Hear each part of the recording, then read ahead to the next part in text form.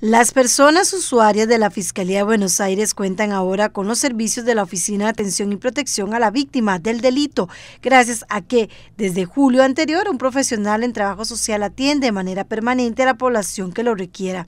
La ampliación del servicio fue posible gracias a la coordinación entre la OAPVD y la Fiscalía Adjunta de Pérez Celedón, generando un impacto positivo para las personas de la zona quienes no tendrán que trasladarse hasta San Isidro de El General para optar por los servicios gratuitos de la atención y protección a la víctima.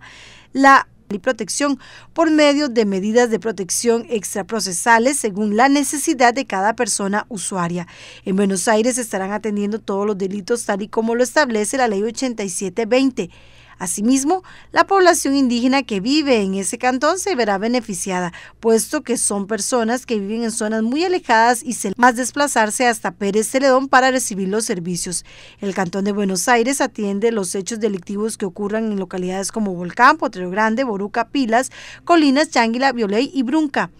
De igual forma, el funcionario añadió que seis de los 24 territorios indígenas se encuentran en esta zona, por lo que el despacho brinda servicios a los pueblos indígenas Boruca, Bribris, Cabécares y Térraba.